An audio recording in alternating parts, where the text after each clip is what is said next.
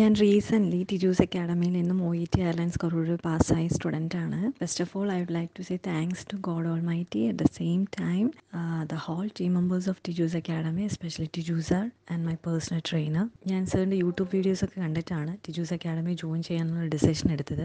First മനസ്സിലൊരു ഡൗട്ടൊക്കെ ഉണ്ടായിരുന്നു. ഇത് റൈറ്റ് പ്ലേസ് ആണോ അല്ലയോ എന്നൊക്കെ. ബട്ട് ജോയിൻ ചെയ്തതിന് ശേഷം എനിക്ക് മനസ്സിലായി ഇത് റൈറ്റ് പ്ലേസ് തന്നെയായിരുന്നു എന്ന്. നമ്മൾ ജോയിൻ ചെയ്യുമ്പോൾ തേർട്ടി ഡേയ്സ് ഒരു ബേസിക് ഗ്രാമർ ക്ലാസ് ഉണ്ട് സാറിന്റെ. ഞാനൊരു മലയാളം മീഡിയം സ്റ്റുഡന്റ് ആയതുകൊണ്ട് എനിക്ക് ബേസിക് ലെവൽ ഗ്രാമർ നോളജ് ഒന്നും ഉണ്ടായിരുന്നില്ല. പക്ഷേ സാറിന്റെ ഗ്രാമർ ക്ലാസ്സിന് ശേഷം ഒരുപാട് ഇമ്പ്രൂവ്മെന്റ് ഉണ്ടായിരുന്നു. അത് ഭയങ്കര യൂസ്ഫുൾ ആയിരുന്നു.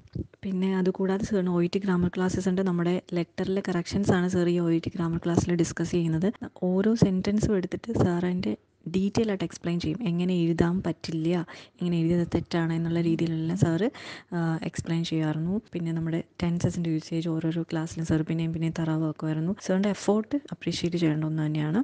ഇതുകൂടാതെ നമുക്ക് റീഡിങ് ലിസണിങ് സ്പീക്കിംഗ് എല്ലാ മൊഡ്യൂളിനും സെപ്പറേറ്റ് ഡിസ്കഷൻസ് ഉണ്ട്. നമ്മുടെ പോർട്ടലിലുണ്ട് ലൈവ് ക്ലാസ്സസ് ഉണ്ട്.